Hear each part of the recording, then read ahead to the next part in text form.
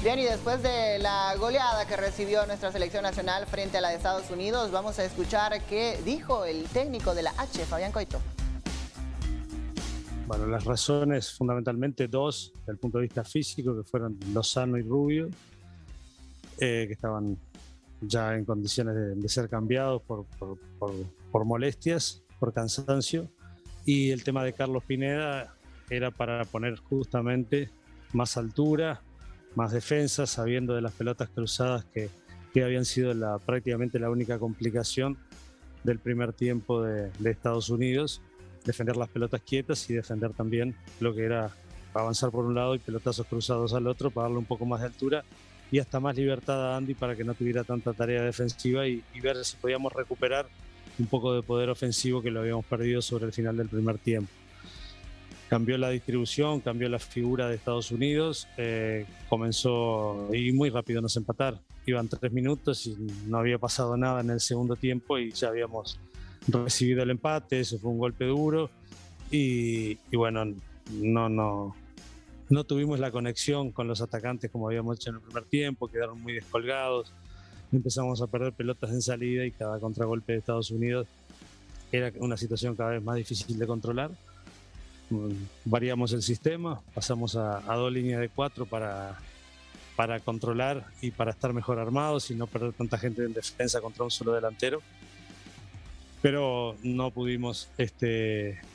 emparejar el juego. Eh, yo creo que el principal déficit que tuvimos fue perder pelotas en ataque y las salidas rápidas de Estados Unidos nos hicieron mucho daño. No, no es algo que, que haya pensado en este momento, no, no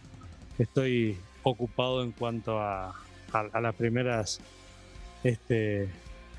las primeras cosas que se vienen a la mente después de un resultado de este tipo, en qué se hizo, qué no se hizo, qué se debería haber hecho, evaluar un poco cómo fue esta eh, la, la, la, la, consideración de la triple jornada.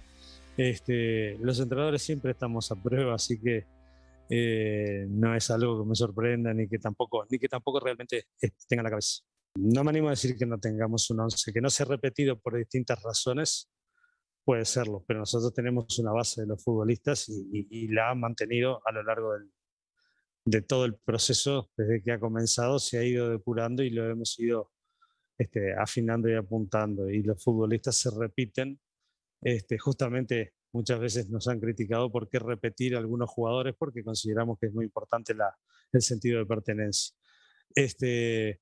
no es fácil jugar tres partidos en ocho días con los mismos once. Eh, por lo tanto, me parece que, la, variación de futbolistas que hicimos no estaba muy alejada de la realidad. Tuvimos un segundo tiempo realmente tremendamente malo, donde fracasamos en la parte eh, defensiva,